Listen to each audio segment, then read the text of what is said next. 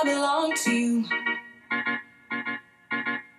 I belong, I belong to you. Do just what you want. Hi guys, it's ASBYT and welcome to a brand new video. Now I know some of you might only just be getting your Android 10 updates, but you know the world of tech never sleeps and we're already looking forwards to the next generation, which is Android 11. The first developer preview has been released, so today we're looking at 10 core features that may just be about to drop onto your Android pocket computers from around September, October time, starting with, of course, the Google Pixel line. So the first feature is one called Bubbles, and as it sounds, it is basically where you'll be able to suspend certain social media chats in little bubbles scattered around your display. The intention of this is to keep some of your more important chats easily available on your display in your line of sight. Let me know whether you think this is a feature you would use. I'm not so sure for me personally, but I'm sure it'll be very popular. Staying with social media, it seems that the notifications is getting a bit of a revamp as well. And when you swipe down from the top, you'll be greeted with a specific section based around social media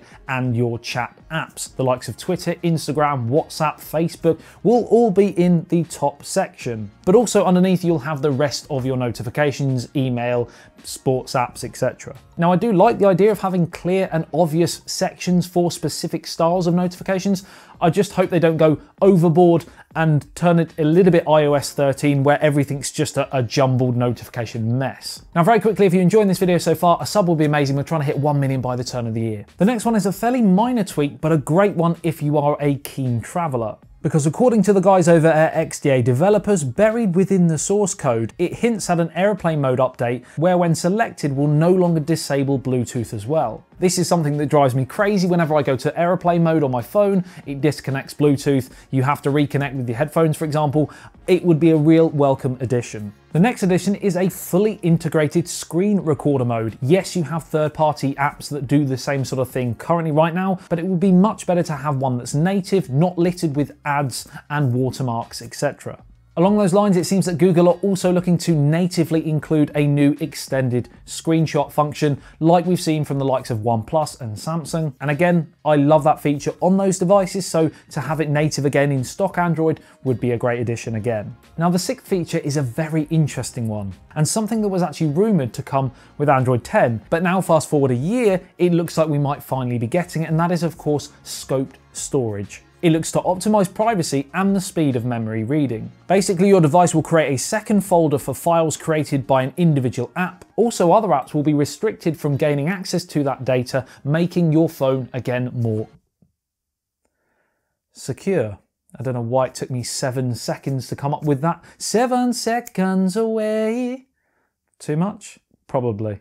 Apologies. And talking of privacy, it seems the whole of app permissions is getting a facelift too as Android 11 will give you greater control to decide when and how certain apps gain access to your camera, your microphone, and your location. Now, this will be a great new feature, especially considering the sheer amount of cases there have been in the tech world about apps monitoring us, etc. Facebook, allegedly. I'm saying nothing.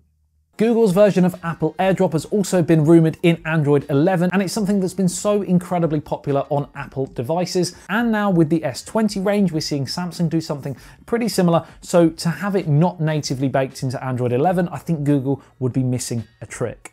Two quick fire features to end. Improved dark mode, which is compatible with far more apps. And apparently Android 11 will give app developers the chance to monitor whether your phone is taking internet connection from Wi-Fi or 4G or 5G so that they can actually optimize the app accordingly, especially if you're downloading things, for example, that'd be really handy. Now, of course, we expect to hear far more from Google at their I.O. event between May the 12th and May the 14th. So I'll do a big update video as soon as that's happened and I'll be tricking out information probably on Twitter and Instagram. I'll leave them somewhere linked here for all of the latest and greatest information about Android 11 as soon as it drops, you will know. Let me know in the comments which of these features you like the sound of and which features you would like to see in Android 11 that currently isn't available in Android 10. Like this video if you liked it, sub to the channel if you want breaking tech news, unboxings, reviews. I love you and leave you. I'll see you in the next one. Peace out.